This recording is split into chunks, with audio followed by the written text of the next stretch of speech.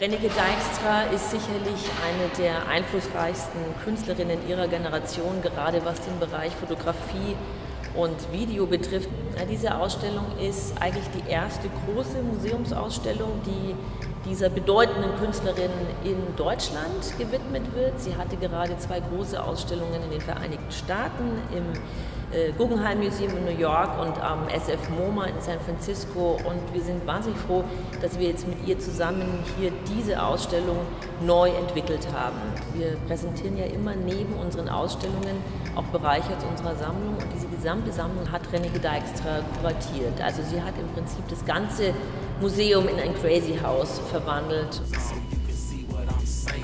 Crazy House ist benannt nach einem gleichnamigen Club in Liverpool, in dem Renike Dijkstra gefilmt hat. Sie hat sich ein Studio auf die Tanzfläche bauen lassen und dort junge Menschen gebeten, zu ihrer Lieblingsmusik zu tanzen. Diese Ausstellung zeigt zum ersten Mal weltweit alle Videoinstallationen von Renike Dijkstra.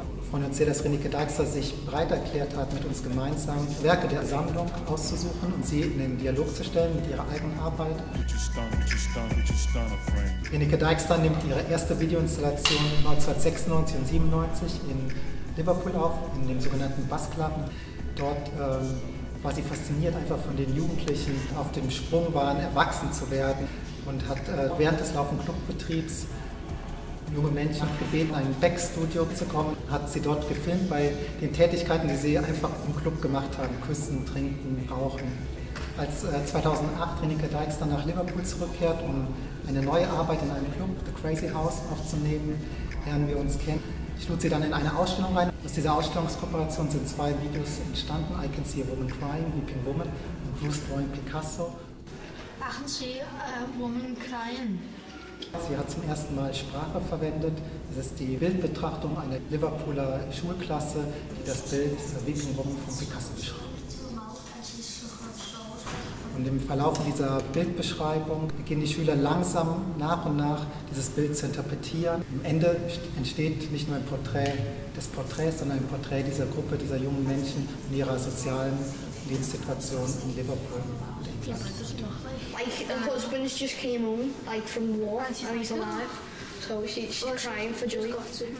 Das Wichtigste in der Arbeit von Renike Dijkstra ist ähm, die Beziehung zwischen dem Betrachter und dem Mann oder der Frau, die in dem Bild porträtiert ist. Es geht hier also immer um den Moment des Mitgefühls, der Empathie, des Zusammenkommens. In der zentralen Halle sehen wir drei Werke. Alle drei spielen mit dem Thema Porträt. Es sind drei verschiedene Formen des Porträts. Ein gemaltes Porträt, die weinende Frau von Pablo Picasso, eine Leihgabe aus der Tate-Sammlung. Es ist das fotografische Porträt von Amy, der jungen Liverpoolerin, in der Fotografie von Renike Dijkstra. Und eine Installation von Tobias Rehberger mit dem Titel Most Beautiful. Wir sehen dort neun George Nelson-Lampen und zwischen diesen Lampen liegt auf dem Boden ein zerknülltes Blatt Papier. Es ist die Beschreibung der Traumfrau des Verfassers. Und alle diese drei Formen des Porträts spielen natürlich mit der Idee des Schönheitsideals, der Utopie, der Perfektion und andererseits eben mit dem Verlust, der Verwundbarkeit, der Verletzlichkeit auch des menschlichen Daseins. Zeit und Zeitlichkeit spielt eine besondere Rolle im Werk von Renike Dijkstra, ebenso auch im Werk von Onkawara in seinen Date Painting. Es ist ganz bezeichnend, dass Renike Dijkstra ihre Werke immer nach dem Tag benennt, an dem die Aufnahmen gemacht wurden und auch die Zeitlichkeit, die in Renike Dijkstras Langzeitbeobachtung Almarisa vorkommt. Fünfjährig, als sie sie zum ersten Mal fotografiert, ein bosnisches Flüchtlingsmädchen in der niederländischen Stadt Leiden, bis hin zur jungen Mutter 2008. Es gibt zwei Arbeiten in der Ausstellung, die noch nie gezeigt wurden, Weltpremieren sind, The Powerhouse und Dress Rehearsal. Beide haben etwas gemeinsam, sie sind beides äh, wie Videostudien, in denen einmal in The Powerhouse zwei junge, dunkelhäutige Tänzerinnen vor weißer Studiokulisse tanzen.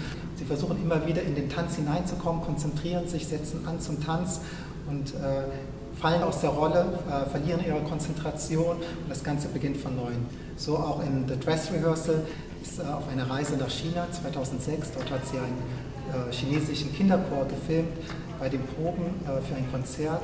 Auch dieser Kinderchor setzt immer wieder an zum Singen und nach wenigen Takten wird er unterbrochen von der Chorleiterin, die wir im Bild nicht sehen. Er zerfällt in Chaos, bricht auseinander, getuschelt setzt ein, bis die Chorleiterin wieder im Hintergrund zum Gesang anhebt und der ganze Chor sich plötzlich wieder formiert.